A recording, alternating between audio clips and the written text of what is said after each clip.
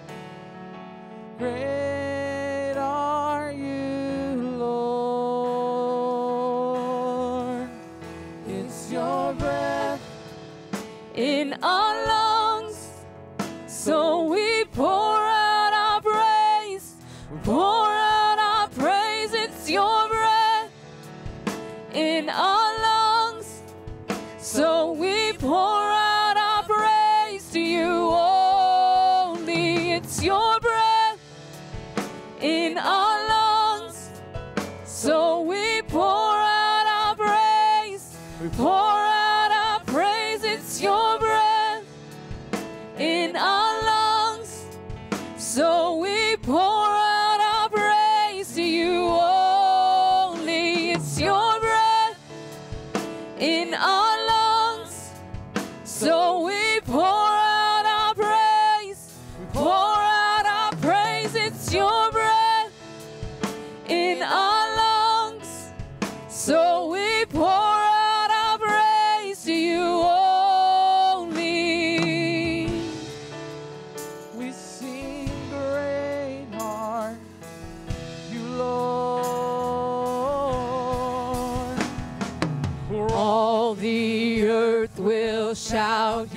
praise. Our hearts will cry, these bones will sing. Great are you, Lord. All the earth will shout your praise. Our hearts will cry, these bones.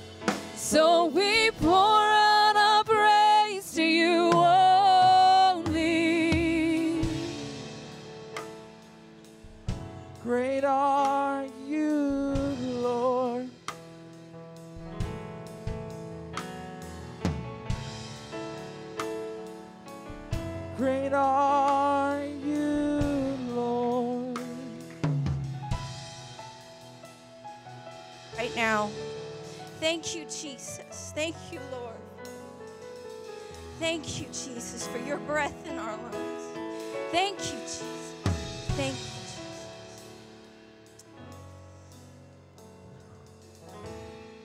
God is good. Amen. So, I, Pastor, has given me the opportunity to speak. Thank you. Um, and I'm going to be doing a five minute little warm up welcome. But everyone, you may be seated. And right now, I want you guys to think of the most peaceful thing in the world that you can do that just brings you peace.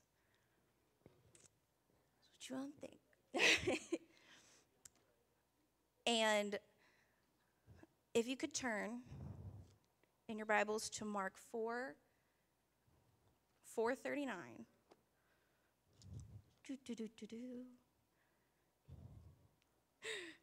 If you're there, say amen. If you're not, say, oh, me. No, I'm just kidding. Don't tattle on yourselves.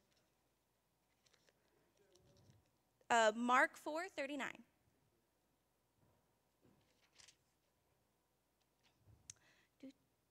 All right, I'll get there. All right. All right.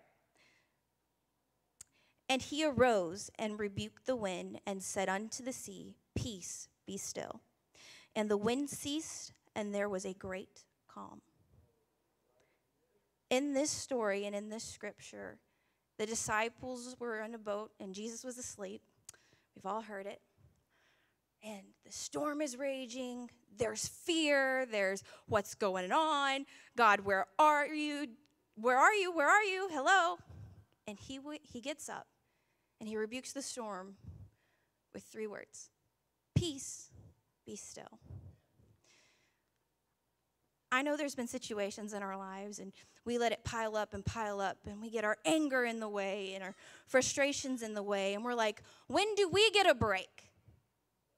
When do we get a moment? And the thing is is that those same feelings that come into our lives, that anger, that unsteadiness, that fear is a reason we're not getting a break.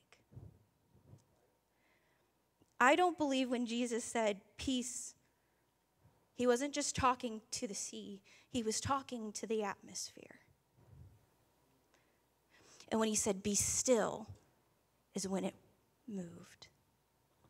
When we're in our moments and in our trials and in our way, and we are not having a peaceful moment, how on earth are we going to hear God? If we can't step away and take a second and be like, okay, okay. In those moments where we have to be at a peace just to hear Him. Because when our anger, our anxieties, our depressions, our sorrows, our friends hurting, someone else is in need, what about me? When do I get a break? If we let those voices get louder than God's, how can He talk to us? When we need peace in the situation. God's already gifted us peace. It's willing, it's up to us that we keep asking and receiving it. We're human. We're going to feel every stinking emotion, sadly. we're going to feel those painful moments and we're going to want to react and we're going to want to take charge. And we can't. My mo- the, mo- the times I'm at peace the most, and when I find it super easy to talk to God. For me, some people think it's crazy, but on horseback. I'm at a complete peace. That's a moment when God can speak to me without anything in my way. Having a prayer room and a closet, yes, that is awesome and it does bring peace. But sometimes there's one thing we need just to sit down, relax, and sit still. God had to make the atmosphere peaceful so that we could be still and listen.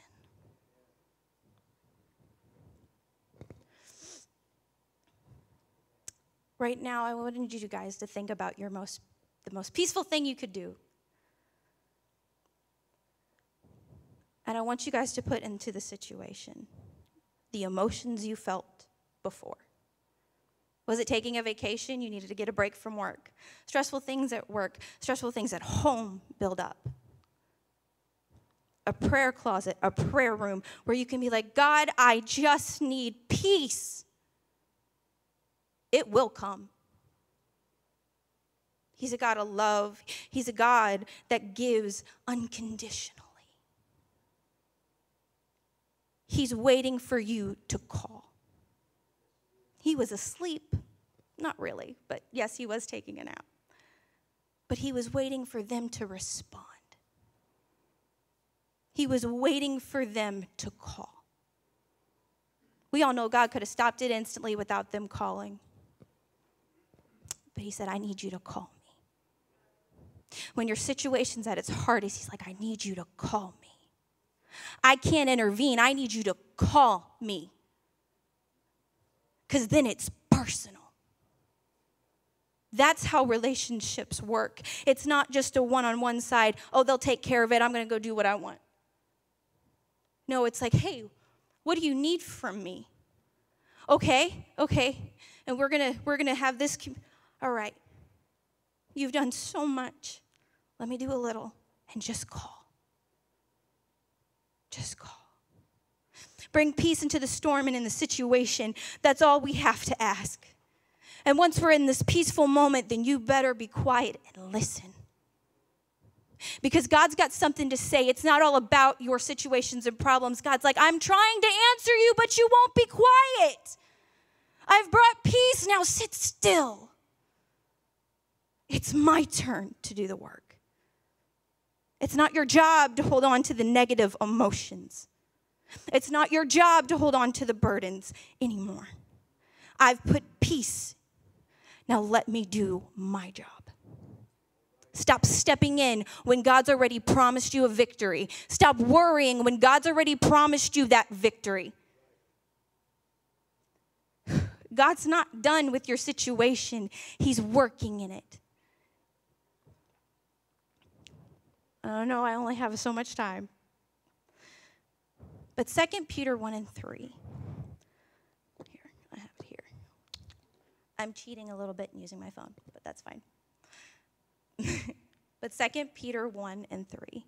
According to his divine power hath given unto all of all things that pertaineth unto life and godliness, through the knowledge of him that have called us to glory and virtue according to his divine power, hath, hath given unto us all things that pertaineth unto life and godliness. He's given it to us. Claim it. Don't interfere. You want to find peace? You can find it in a church pew. You can find it in a prayer room. You can find it in your prayer closet. You can find it reading the word. I can find it on horseback. Some people find it in a deer stand. But God is saying, be still and listen. I'm ready to fix the situation. Step aside. Right now, if we can all stand and just pray, God, help me find the peaceful moments so that I can be still and listen. God, help me find those moments in my prayer closet. God, help me find those moments in life when I am frustrated and angry and I can't hear your voice because my voices are louder. God, allow me to have that peaceful moment where I can hear you. God, allow me to have that peaceful moment so that I can reach out and do the little things you ask of me. God, help me to call out to you when I need you. God, help me to find you when I need you so that I'm not the one putting me down, but God, you are here to lift me up. You are here to bring peace into my situation. God, help me to have faith and to believe and be restored. In Jesus' name. Thank you, Jesus. Thank you, Jesus.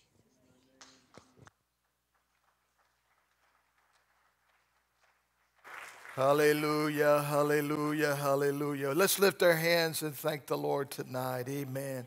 Thank you, Sister Shaylin. Thank you, Lord, for the word tonight. We appreciate you. Thank you for the peace that you can give, peace that passes all understanding. We appreciate that tonight. We're grateful, Lord. We're grateful. Help us to be still in the midst of chaos and storms and to, Lord, seek that peace that only you can bring. Amen. Amen. Everybody said amen. amen. Praise the Lord. Thank you, sis, for that good word this, this evening. I almost said this morning. That's what happens when you miss one Sunday, right? And it's good to be back home. Uh, thank you for allowing us to uh, slip away um, this weekend. It was a wonderful service that you all had this weekend. Thank God for such a beautiful uh, word from the Lord. Brother Chavis did a great job, and um, it's just good to have him. Great service. My, I was with my um, my pastor. They did a birthday celebration for him. Asked me to come, and I hadn't been back in many years, and so I, I needed to go. And so it was just a, a great time. But we did miss you. But it's good to be back home. Good to have the DeWitts back home. Uh, it seemed like we were all gone. Yeah, but we're back. Amen. It's good to have Brother Jared Reyes back with us here tonight on loan from uh, Uncle Sam. And, uh, and of course, Sister Sarah. This is uh, Sister Kim's mother. We honor her. Glad to have her back with us tonight. And, uh, amen. It's good to have Will with us tonight and others that may be visiting. If I missed you, I apologize. Thank you for being here tonight. Praise God. Amen. You know what I think we ought to do? I think we ought to pray specifically before I go to the word of the Lord for some needs. I know there's many needs, sickness. Um, my mother, they just uh, gave her a diagnosis of pancreatic cancer. They're uh, looking at options now. And of course, that's, a, that's something nobody wants to hear, so keep her in, in prayer. Brother Jonathan's father is not doing real well. Let's remember him. My wife's mother um, and I know that there are many others. Uh, Kathy Dorr had surgery. Christopher Thatch is in, this is Sister Donna's son. He has been in the hospital for months in San Antonio, Texas, and um, El Paso before that. Needs prayer. Uh, many others need prayer. Just lift your hands if you know a, a, a prayer need that I'm, I know I'm probably missing some, but God knows. Amen. And God not only knows about it, he knows how to fix it. He knows how to comfort our hearts and give you peace. Amen. Lord, in Jesus' name, I pray for every need that is here tonight, of the, those made known by the lifting of the hand, those, Lord, that are uh, here tonight, those that are watching at home. I know that you can move and you can touch and minister in a powerful way. And I ask you to do that right now. Things that we can't fix, Lord, I know that you can fix. We pray that we would take Brother Chase's message to heart, Lord, and get closer to you tonight. In Jesus' name, we thank you for it, Lord. We thank you for your power. Thank you for your care for us, for your compassion. We pray for those, Lord, that are not here tonight for various reasons. We pray you would touch them, be with them, Lord. Bless our service this weekend. We thank you, Lord, for all that you're doing, and we appreciate you. And we give you glory and praise. Bless this Bible study tonight. Let the Word of God touch our hearts and illuminate our minds, our spirit, and help us, Lord, to be motivated to help our fellow man, Lord, to reach out and to love others, lift others. In Jesus' name, we thank you for it. Can we give the Lord a hand of praise tonight? Thank you. In Jesus' name, amen. Praise God. Amen, amen, amen. God bless you. You can be seated. Thank you for being here tonight we are glad to see all of you here. Uh, just a quick couple of things before I get into the word. If you uh, would like to participate in giving to the for the gift baskets, we're giving gift baskets to some of our homebound seniors. Um, here in the next little bit, we do need those items in by Sunday. See Sister Mary Vincent. There's a sign up sheet out on the welcome desk if you'd like to go by and see some things you could bring, uh, your little items. That would be a blessing to let some of our homebound seniors know that we care for them. Um, or you can see Sister Mary Vincent. You can see Brian Vincent if you are a man and you'd like to go to men's conference. See Brian Vincent. That's coming up mid September if anyone would like to go. Uh, you can see him. And one last thing. Um, in September, we are excited about what we're calling fall breakouts. And uh, we are going to be having three classes at three different locations with three different instructors. And we will continue to have our youth class and our kids class, but three adult classes. So you can, you can take your choice. But I'm not telling you what they are tonight. I will tell you this there's going to be snacks involved. Hallelujah. This is going to be awesome. I feel the Holy Ghost right now. Amen. And you, you can bring your own drink. Here's what we're going to do uh, each class is going to have snacks for you, but rather than try to get everything situated for everybody, because one likes coffee, one likes tea, and one likes all frou frou stuff, and all. So just bring you a little whatever you want to bring. How about that? And then we'll have the snacks for you. So that's kind of the plan. They'll tell you a little bit more as we go along. And I'm just uh, here the next little bit, giving you a little bit of insight. We actually know exactly what we're doing, but I'm just not telling you all of it yet. One of the few times we kind of know what we're doing. But anyway, we're excited about that. It's going to be fun. Amen. Praise God. What a great vacation Bible school we just finished. That was wonderful. Had a great crowd, a lot of kids, and uh, it was exciting. And um, there's good stuff happening. We've baptized several the last few weeks. Uh, I, I, think, if I'm not mistaken, someone received the Spirit Sunday, and that's just wonderful. It was a powerful service. I'm thankful for that. Amen. Tonight, I'm going to be diving into our uh, Bible study here. And it's no secret, you probably have your handout there. Um, I am going to be talking about on the subject take care. Take care. Take care. That's like when somebody is at your house and they're leaving, and you know, you say, Well, we'll see you later. Y'all take care.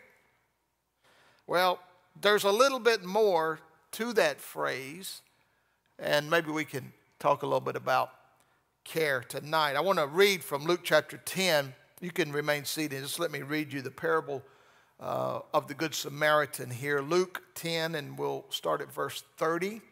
Just read a few scriptures here. And this is the uh, King James Version, Luke 10 and 30. A certain man went down from Jerusalem to Jericho and fell among thieves, which stripped him of his raiment and wounded him and departed, leaving him half dead. And by chance there came down a certain priest that way. Oh, yea, a priest is coming. Surely help is on the way, right? And he passed by on the other side. I mean, it's, he literally pointed out that the priest passed by on the other side. Verse 32 And likewise, a Levite, when he was at the place, came, looked at him, and went to the other side of the street and passed by. This is not a good example for the ministry right here in this story, ladies and gentlemen. Verse 33 But a certain Samaritan. Now, the Samaritans were not necessarily religious uh, people. In fact, the Jews of that time and the Samaritans, they couldn't get along. The Samaritan, as he journeyed, came where he was, and when he saw him, he had compassion on him and went to him and bound up his wounds, pouring in oil and wine, and set him on his own beast, brought him to an inn. And notice this last phrase here took care of him. And he took care of him. And then on the morrow, when he departed, he took out two pence and, and gave them to the host and said, Take care of him. Take care. Take care of him and whatsoever thou spendest more, when I come again, I will repay thee. Amen. Care, everybody say care. Care is a multi billion dollar business. Rises, recent inflation in healthcare cost no longer shock us. Now we pay monthly for all kinds of anticipated care things legal care, child care, elder care, hair care, eye care, lawn care, pet care, car care, environmental care, all kinds of care. You name it, and we're all probably familiar with these kinds of words. In, in the insurance industry alone, you have intensive care, long term care, and adjectives like superior and comprehensive make care more appealing. It's really a, a wonderful, caring world as long as you got the money to pay for it, right? Caring used to be the expression of basic human concern, um, and it should be. People should care without the thought of payback. Seem like, uh, and I know we still do, but it does seem that there are other things involved. Um, you know, we used to care more about maybe family members, relationships, causes, institutions, ideas, uh, because they're vital uh, to our way of life. And we still do, but for sure, care can be springboarded into exploitation rather than genuine concern and care and compassion. And in, in a sense, care and compassion has been hijacked by various causes and maybe agendas for political gain or whatever that the case may be. But care is really not the government's business. It's really not somebody else's business. It's our business. It's let, us not forget that it was the church who started orphanage, orphanage children's homes. Whew, I cannot say it, saved my life.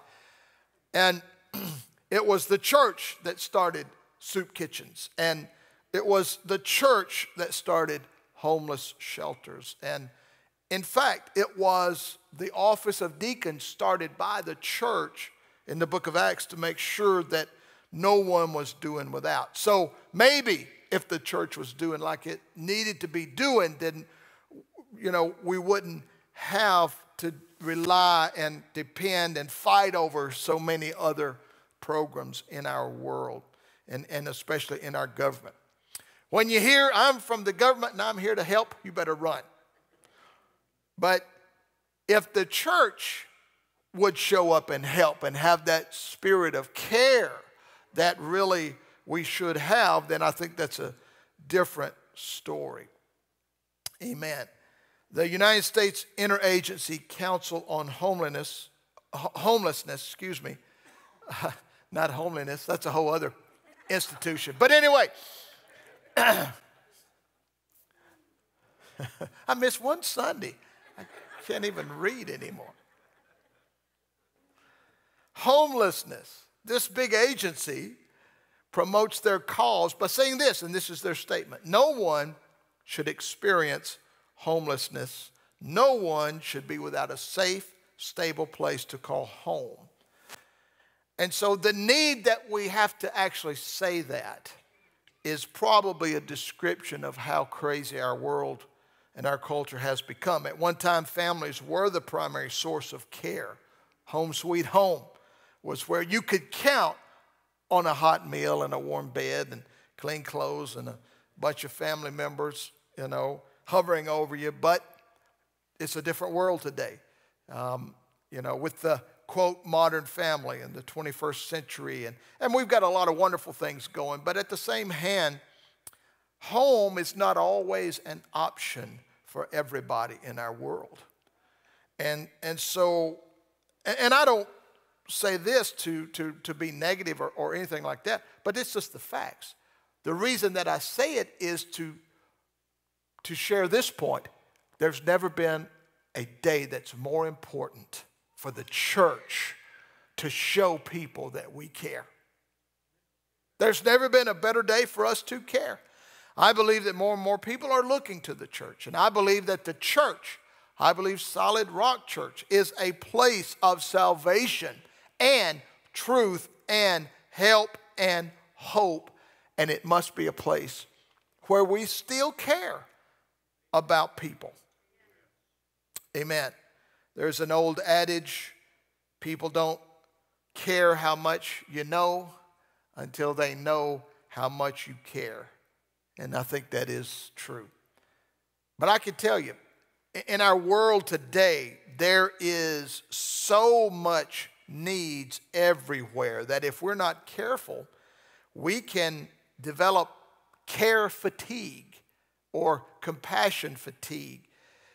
I mean, you know, I, I there have been times, um, I mean, there are just so many needs in the world. I mean, I'm always sharing needs about this or that, and sometimes we just get overloaded with it. So care takes effort. In fact, I've actually asked God at times, I said, God, increase my capacity to care. I know that may shock you um, today. Not that it's not that I don't care, I just don't care. if anybody besides me would be honest tonight, you get what I'm saying.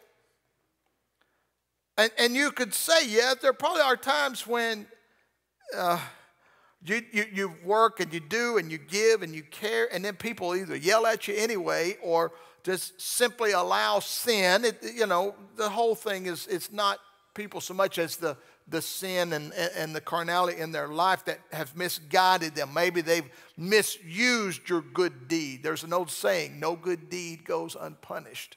And maybe that's all happened. And so, if we are not careful, we can have care fatigue.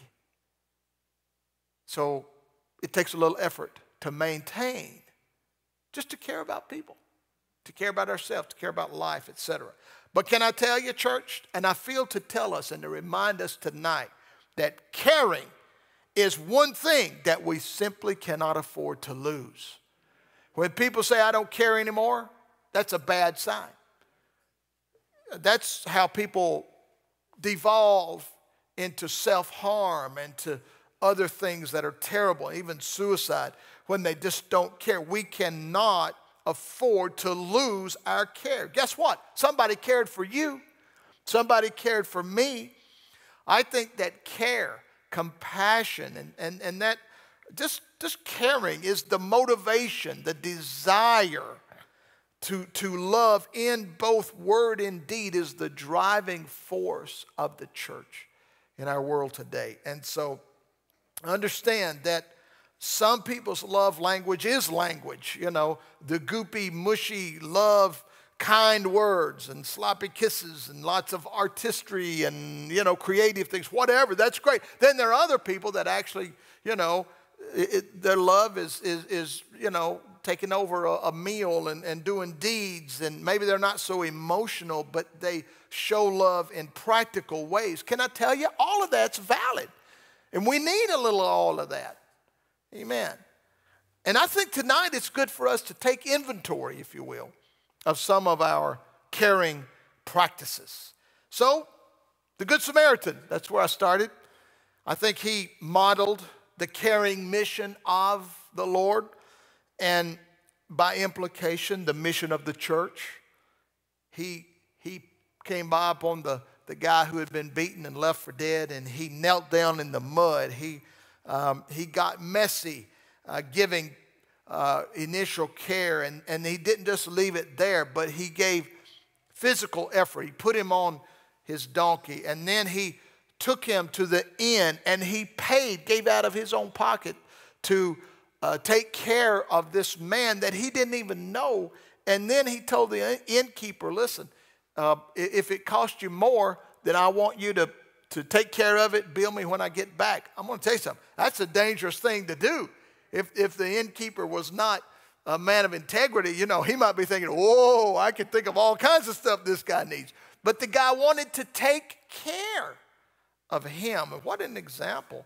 And so I, I think that we don't just fulfill our Christian duty uh, to, to others. Church, we don't do that just by explaining salvation and just by teaching on the Godhead and, and just by witnessing and then walking away. I think we need to remember to truly care for people and to pray for people and to help in both word and in deed. Otherwise, we just become smug dispensers of doctrine. And we don't want to do that. We must care. The New Testament church must care. I'm telling you, we're in a world today where it almost makes you not care. You can have so much going that you just, and, and I understand we have screens and news, things coming at us all the time, and there's so much, it's hard to take all of that into our spirit. That's why you need to shut it off sometimes and get with the Lord. But make no mistake about it, we need to care about the things of God. We need to care. We're going to talk a bit, a, a little bit, I'm getting ahead of myself. We're going to care about several things here, but we have got to not lose our care. We've got to keep caring. Amen. Care means to feel concern or interest, to attach importance to something. And so let me just start in on this. Let me, let me list some things that the church should practice. You ready? Number one, it's in your handout. We must care for ourselves. I know, Pastor, you've been up there talking about caring for others, loving others. We have others Sunday once a month, but now you're talking about caring for yourself? Yes. Bible says in Galatians 6 and 5, every man must bear his own burden. How many has ever flown in an airplane? Most of us. When you get in that airplane, they give you a speech at the beginning, right? And they've got this, they, they talk about the vest in case you're over water, and, you know, and, and they give you this speech. They say, well, if the airplane ever uh, loses oxygen, there'll be a mask that will drop. You place it over your head, you pull this, and you breathe normally. And then they say, if you have a child with you, it's very important. You take care of yourself first. You breathe first, and then you take, put the mask on the child, attend to the child. And I, that's very interesting. It almost sounds selfish, but here's what they know from experience. If you don't take care of yourself, you're not going to take care of that baby. In fact, there's no way you can help if you can't breathe. I think that's important for us too. Not being selfish, but you got to, if you're going to take care of others, you got to take care of yourself. In fact, you can better take care of others when you properly take care of yourself. Amen. It's, it's important to do that. We should care about our ourselves. Uh, and let me just say this it's not good for a Christian to neglect our personal welfare to live irresponsibly, to become a parasite to society, and, and, and do all of these things if we are able to, to take care of ourselves. I understand that there are people that, that maybe are limited and can't do things, but we must do what we can do, right? We shouldn't expect others to do for us what we can do for ourselves. But at the same hand, we must do something for ourselves. We must take care. Um, so here we go. You, you need to care about your health because Jesus has got a work for you to do. So if you don't take your medicine, if you don't get some rest, if you, you know, don't uh, care about any, yourself, then, you know, I mean, we need you around as long as possible. And so do those things. Eat moderately, move a little bit, and, and do the. I'm not, I'm not looking at anybody. I'm, I'm thinking about myself. But we need to do the, our part. Amen. And let the Lord do His part. We need to care about our appearance because we represent Christ to the world, and and we need to care about that. We need to care about our attitude because people look at us, and if we've always got a you know, just a sour attitude and so forth, that's not a very good witness. Who wants a religion like that? You know, they got that already. They don't need any more of that. Your attitude is a roadmap of where you're going. So we need a good attitude. So again, if we don't care for ourselves, it's harder to care for others. Uh, now, again, this has to be in the proper perspective. You can take anything out of balance. You know, in other words, if all you care about is yourself, then you're out of balance. You follow me? Everything has to be in balance, okay? But uh, certainly, in fact, self care is a buzzword in today's world, and I, I do think that it is important, um, you know, to not disregard our own spiritual and mental and physical health, else it's harder to be a blessing to others. Number two, we must care for each other we must care for each other. Bear you one another's burdens and so fulfill the law of Christ. Galatians 6 and 2.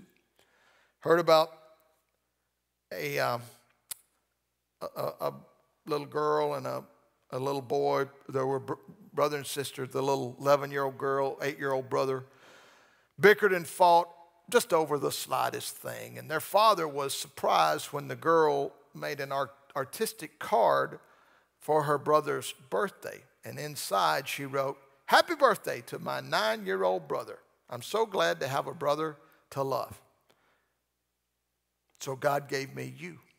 And the dad said, Oh, that's so sweet. And then he read the P.S. Don't read this out loud or I will twist your head off, she wrote. So there you go. That's about the way brothers and sisters care. But we got to care. We are brothers and sisters. Sometimes we want to twist one another's head off, but we got to care for each other. And, and sometimes we do. You know, families, families, I'll just leave it there. I'll just say families, just shake my head. Sometimes that's the way it is. But guess what? We're a church family. And we got to love one another at the end of the day. Amen. Through all the irritations, misunderstandings, we must care deeply for one another. You know why? Because there's a world that is watching, and it matters. Amen. We got to keep an eye on each other, pay attention to telltale signs that indicate a brother or sister's having a, a tough time. Pray for one another. We talk about that and say that a lot, but it's important to pray for one another.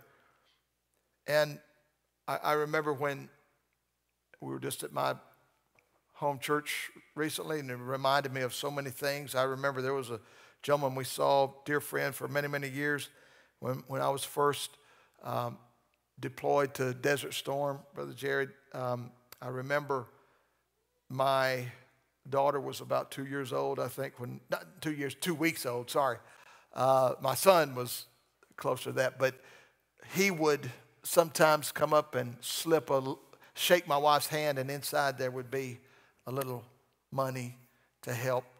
And I, I just can't tell. You don't forget that kind of stuff. You know, just, I'm not trying to, I'm, I'm not hinting or anything, but, you know, those are kind things and it meant a lot. So we need to help one, one another. Send a card, speak a kind word, fix a meal, buy some groceries, run an errand, do a care basket, ask if there's something you can do, and mean it. Um, and, and sometimes we just got to imagine ourselves in a down and out situation and respond to someone like we would appreciate being responded to. Philippians 2, verse 19 says, But I trust the, in the Lord to send Timothy shortly unto you, that I also may be of good comfort when I know your state. For I have no man like minded who will naturally care for your state. For all seek their own and not the things which are Jesus Christ.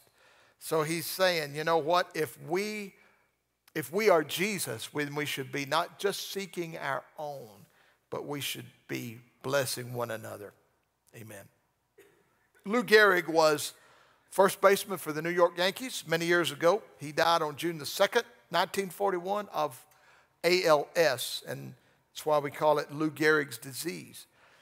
The uh, doctors didn't really know about it back then. He was in the hospital for a long time. They experimented with different drugs. They were trying to find one that would work. And uh, it, was a, it was a terrible, long uh, struggle for him. But just before he died, Lou Gehrig called his friend Bob Considine. And he said, Bob, I got great news. The boys in the lab have come up with a new serum, and they're trying it on 10 of us. And it seems to be working well on nine out of the 10. It's great. And Considine said, Well, are you one of the 10, Lou? He said, Well, no, but nine out of 10. Isn't that great odds? He was so excited that others were being blessed with this serum. And what a beautiful attitude. Perhaps that's why he's remembered fondly today because he cared about others. Philippians 2, verse 3 Do nothing out of selfish ambition or vain conceit, but in humility consider others better than ourselves. Amen. In other words, others. Be concerned about others. Number three, we must care for the church. The church. Ephesians 5 and 29 No man ever hated his own flesh, but nourisheth and cherisheth it, even as the Lord the church. We need to love the church, pray for the church, attend every service you're able to, support the church with giving, tithes, and offerings, respond to initiatives led by the pastor, participate in activities sponsored by the church, strive to keep unity in the congregation, talk positively about the church, invite people to the church, minimize your criticism and maximize your compliments when you're talking about the church. That's caring for the church. Amen. Taking good care of the building. Watch out for the kids. Help a mom that's trying to herd her kids in the parking lot. got sometimes carrying a diaper bag and Sunday school supplies and a kid on the other arm, you know. Whatever, help out. Maybe you, when you hear a prayer request, learn that somebody's having a difficult time. You know, pray for them. Let them know you pray for them. Maybe write a card or whatever. Let them know. It's all that's important. Somebody's struggling. Uh, maybe they had a grief or a loss. Uh, you know, care. Care is very important. Care for your leadership. Be faithful in your duties. Whether it's, it doesn't matter if it's just cleaning a toilet or leading worship or greeting at the door, whatever that it is, caring for the church. That, that's practical things and ways that we can do that. So we have to, amen, be that kind of church. Say it, think it, do it, share it, protect its reputation, share its goals and support it, volunteer for it, pray for it, make it better because you're a part of it. Amen. Number four. Number four. We must care for the faith. Faith is the backbone of the church, it's the structure, it's important. Jude 3, verse 3 says, earnestly contend for the faith that was once delivered to the saints. I'm telling you, we have precious apostolic truths that need to be cherished and taught and practiced and handed down to the next generation. And uh, it's, it's not the day to, to set them aside, our doctrine, our, uh, our, our, Bible knowledge, our lifestyle. We don't want to set all that aside. At the same hand, uh, we don't want to use that as weapons and sledgehammers and, you know, all of that.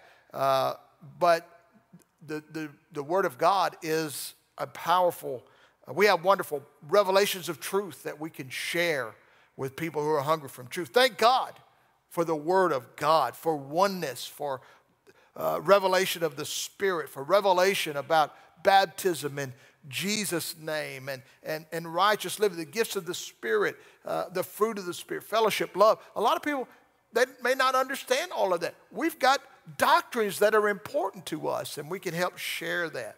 Ephesians 4, verse 4 there is one body, one spirit, even as you're called in one hope of your calling, one Lord, one faith, one baptism, one God and Father of all, who is above all, through all, and in you all.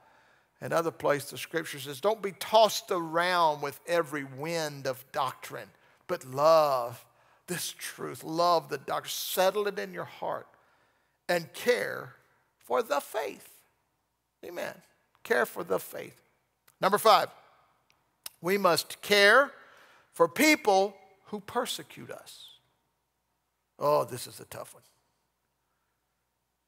This is a tough one. Matthew 5 44. But I say unto you, love your enemies, bless them that curse you, do good to them that hate you, and pray for them which despitefully use you and persecute you. That's a tough one, but you know, Jesus probably gave us the best example as he was dying on the cross in the hands of his persecutors. Instead of calling angels down from heaven, instead of calling fire from heaven, I, am telling you, I would have been saying, Father, oh, I don't even want to say what I'm thinking right now, but I'm telling you, it would not have been forgive them. But yet, that's what Jesus wants me to do, and that's what I have to do. And I'm learning to do that through the Spirit that transforms me. Because Jesus reframes the past way of thinking into thinking new. The old man would have wanted them to fry like a meat skin, but the new man says, Father, forgive them, for they know not what they do. Amen. That's important that we we care for people who mistreat us, people who've talked about us, people who've lied on us, people who, whatever. Just love them. Life's too short. Bitterness only destroys the container that it's kept in. Just let it go. Let it go. Romans chapter 12, verse 14. I want to read you just a few scriptures here. This is the uh, ESV, English Standard Version. I like this. It says this Bless those who persecute you, Bless and do not curse them. Rejoice with those who rejoice. Weep with those who weep. Live in harmony with one another. Do not be haughty, but associate with the lowly. Never be wise in your own sight. Repay no one evil for evil, but give thought to do what is honorable in the sight of all. If possible, so far as it depends on you, live peaceably with all men. Beloved, never avenge yourselves, but leave it to the wrath of God, for it is written, Vengeance is mine, I will repay, says the Lord. To the contrary, if your enemy is hungry, feed him. If he is thirsty, give him something to drink, for by so doing you will heap burning coals of fire on his head. Do not be overcome by evil, but overcome evil with good. It's good scripture. Number six, we must care for people who are different from us. Amen. Acts 15 and 9, I like this. It says, and put no difference. This was, they were discussing the, those that were still saying that Christians had to be circumcised. They had to be, hold to all the Jewish traditions. And yet, that wasn't what God was, teaching them, wasn't what Paul was teaching them. And so he said, put no difference between us and them, purifying their hearts by faith. Acts 15 and 9. I think this is important. We're all God's children. Amen. And I, I hope that you know, I'll say it again. I hope you know my strong desire to have, intentionally have a strong, multicultural, diverse, multi generational church. It's represented by every nation and ethnicity, language, every social status is welcome here. I hope that you know that. But also, as a Christian, guess what? You are a stranger to this world. So while we're all different on the outside, guess what? You're different on the inside too from people who are not Christians. You know, you don't think like them, you don't act like them, you don't have the same customs, you don't have the same goals and desires. When they want to go partying and getting drunk and go carousing because you are a Christian, I hope that you don't want to join them. They may be using the, the, the, Lord's name in vain and participating in various other deeds, but you know, you have been born again, and so you're trying to please God. I'm not saying we're perfect, but we're trying to please God. Uh, the Bible teaches that the old man glorified himself, but the new man glorifies God, and, and on and on. So, guess what? We're, we're not all, all are only different on the outside, but there's, we're different from on the inside from a lot of people. They haven't been born again. And so, guess what? We need to show care, especially to those that have not been born again, to those that maybe have and they've fallen, maybe those that have messed up. We need to show special care there. We can't let our disdain for ungodly deeds come through as disdain for ungodly people. They and we, in fact, the Bible says, such were some of you, such was I. Amen. Some of you are shaking your head. You got testimony. You could tell us a lot of stuff that we'd probably be shocked right now. Guess what? Every one of us is only saved by the mercy and the goodness of God. And so we have to intentionally remember to care for those who haven't had that revelation yet, haven't come to that experience yet, guess what? Sinners sin. It's what they do. So don't be shocked. Love them, care for them. Amen. And, and don't be shocked, you know. People are going to do, do stuff. People's language may offend you. People, uh, you know, the, the guy that's that, that's drunk and out of control, he, he, he was somebody's little boy. Maybe now he's, he reeks of alcohol and drugs and whatever. But guess what? He, he, he was somebody's little boy and was, went to kindergarten and first grade and uh, starred in the school play at one time, and you know, there, there's, there's a story there. Care for people. Care for people. Somebody's little girl, maybe now she's doing things in a plea for attention and caught in a web of lies and, and, and but down deep it's just a little girl who got off track amen we must care especially about about others as god's people you know we try to live better and we try to you know surround ourselves with people who will help us and improve us and lift us but we have to be careful that we don't pull away from people so much that we seem to be superior or anything like that. Don't fear being seen with people. Don't shun people. Don't love their activities and behaviors, but love them. Don't let them influence you. You influence them. Reach them. Care for them. Help meet their physical needs, spiritual needs. They're strangers, citizens of a different world. And so, just some practical ways that we can do it. Maybe we could intentionally invite a stranger to our home. Maybe not a stranger like creepy serial killer type, but a stranger that you don't know.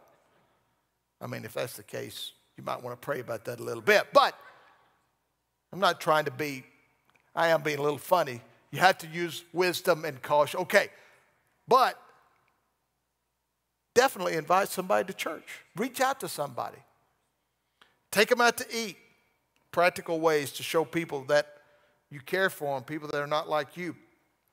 Um, you know, offer to babysit their kids for a night out. Take them a, a pie. I love pie. I'm going to tell you, if there's anything that'll distract me from teaching a good lesson, it's pie. Oh, sorry. Uh, invite them to go fishing or hunting or whatever that that, that sounds good to you. Maybe give them the extra vegetables from your garden. Maybe invite them to a home group or a Bible study. Uh, maybe to come to church and offer to ride with you. Uh, and then when they come to church, offer to sit with you. Even if it means not sitting in your favorite seat. Mercy. You might have heard about the pastor who uh, kept saying, move over for guests and give them the best seats. And this one guy, he wouldn't move for nothing. So the pastor shot him. Nope, he didn't kill him. He just shot him, wounded him in the leg. And so he limped the rest of his life. And every time he would leave church, the pastor said, See that guy? He's the one that wouldn't move for the guest. So I'm just saying. People, love people. Love people. Do people get anointed at times? Yep. Do you get anointed at times? Yep. Are they different from you? Yes. Are they taxing on our free time? Yes. But can I tell you, people who are not Christian, people who are not apostolic, they're not necessarily evil. They're just not. They're just people.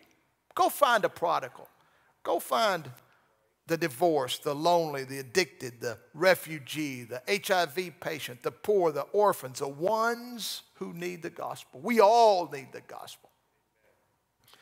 And care, care is up to us. Care is something that it's not a collective emotion. It's it can't be left to others or to the group as a whole. We have to do it ourselves. We have to, as an individual, we have to care. Of course, we care as as a whole and some things that we do and participate in, but you have to care. Nothing, it, listen, caring is the opposite of caring is to do nothing. Nothing never leads to anything good. Caring is taking the victim on horseback to the inn and, and doing like what the Good Samaritan did. Amen. I'm coming to a close. C.S. Lewis, in his book, The Screwtape Letters, writes about a conversation between Satan and his nephew, Wormwood, the apprentice devil. Okay, it's, a, it's just a book, okay? It's not the Bible. But anyway, it's a story. But it is interesting. It goes something like this Satan tells Wormwood, his little evil nephew, some of you may have had an evil nephew. Anyway, uh, He tells him, Now your task is not to go out and make bad people. I'll take care of that. I'll supply the world with all kinds of evil, evil people to do evil things. But what I want you to do is just cause good people to do nothing. That's all you got to do. You just make all of your people comfortable, cause them to be content with things just as they are. Amen. Isn't that something? He, he, he goes on further to say, get their attention off whatever is important and keep them comfortable. Just keep good men doing nothing, and I'll supply the world with evil men. Wow. Interesting, isn't it? Probably has done a good job. Amen. Stand with me tonight. Let me end this on a, uh, a bit of a positive note. I found a story about a man by the name of Henry Dunant. He was born in 1828 in Switzerland, wealthy parents, had everything. He lived in luxury. But Dunant was kind and caring. He visited the sick, helped those who were poor. As a young man, he established an organization in Switzerland called the Young Men's Christian Union which was designed to help teenage boys. When he became an adult, he went into business on his own, did very well. One day he had an appointment with Napoleon III, whose armies were at war in Italy. He traveled to Italy to meet with Napoleon, but on his way he passed all the battlefields, saw the atrocities of war and bayonets and guns just in the mud and so forth. He saw the bodies of 40,000 soldiers, most of them dead. Some of them, though, were still alive. He heard cries of agony and pain. Some were breathing their last breath. He couldn't turn away from that. So he went to the nearest town, persuaded the townspeople to turn the church into a first aid station. He persuaded citizens to help them. They took stretchers out into the battlefield, brought any wounded they could find back. They worked together uh, for some time, and they worked with doctors for three weeks. No sleep hardly, just ministering to people. He finally went home, but he never forgot what he had experienced. So he started writing to this nation and to that, to all influential people that he could. Finally, one day in Geneva, Switzerland, to an international gathering, he presented a resolution that we know today as the Geneva Convention. And this was signed by 22 nations, granting immunity to doctors and ambulances and, and, and nurses so that they can go into the battlefield and help the wounded without fear of being shot at, ideally. And so they adopted as their symbol the red cross on a white background. And today, you know that symbol very well. Wherever there is war, floods, tornadoes, whatever, there's the red cross. Because one man, what did he do? He cared. Care. Amen. I want to tell you, church, caring may be perhaps one of the most Christ like attitudes that we can have. We just can't not care. It's hard. Sometimes you almost wish you could. Sometimes you kind of do, but you don't ever do it for long. If you've got the Spirit of God in you, you go right back to caring because that's just what we do. Let it be said of Solid Rock Church, those are some of the most caring people that I've ever known because it is an uncaring world. And so we need to get this phrase in our spirits take care of people. The Samaritan said, Take care of him. We need to take care of ourselves. We need to take care of others. We need to take care of the church of God. Lord, tonight we thank you for the word. Thank you for this wonderful group of believers that love you and are here on a midweek, Lord, to study the Word and have a true desire, Lord, to improve our spiritual uh, understanding and knowledge and implementation in our world. And really, I'm with a group of people that truly care. I thank you for them. They care about one another, they care about the work of God, they care about themselves and others. I'm praying that we could be a light and a witness to this world, that we could raise our families, Lord, to, to love and to care for not just one another, but for everybody. I pray that you would help us to never lose this very important characteristic that we get from you. You cared enough for us that you gave your life. And I pray that you would help us to give our life in the service of others. I thank you for it. I feel the Holy Ghost right now in Jesus' name. Why don't we thank the Lord? Amen. Thank you, Jesus, for care. Thank you, Lord, for helping us. Help us, Lord, to remember how good you've been to us so that we can help other people. In Jesus' name. Amen. Praise God. All right. God bless you. Y'all be careful and take care. I'll see you Sunday.